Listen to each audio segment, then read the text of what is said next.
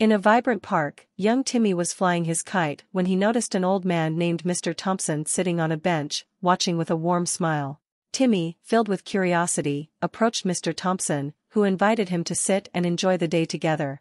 Using the kite as a metaphor, Mr. Thompson explained life's ups and downs, encouraging Timmy to enjoy the ride. Pointing to a majestic oak tree, he symbolized wisdom, urging Timmy to be as strong as the oak in facing life's challenges. As they strolled through the park, Timmy's act of kindness towards a lost baby bird reinforced Mr. Thompson's lesson on making the world a better place through compassion. As the sun set, casting a warm glow on them, Timmy realized it was time to go, waving goodbye to Mr. Thompson, who reminded him to keep his heart open to the lessons life offers.